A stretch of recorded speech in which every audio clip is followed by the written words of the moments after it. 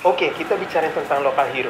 Lokal hero Indonesia Ya, Iya betul. Ini kontingen dari Indonesia, pembangkit listrik tenaga panas bumi Sorik Merapi unit 2. Ya, betul. Ini unit kedua. Iya.